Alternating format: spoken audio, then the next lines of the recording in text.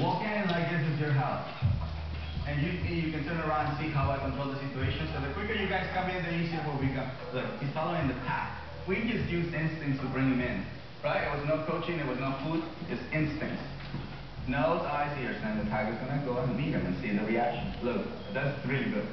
Very nice, that's really cool. Nice. He's tense, you know. Hey, he's stands, but it's unusual to him. This is the first time. Yeah. Would you like to bring him in? Sure.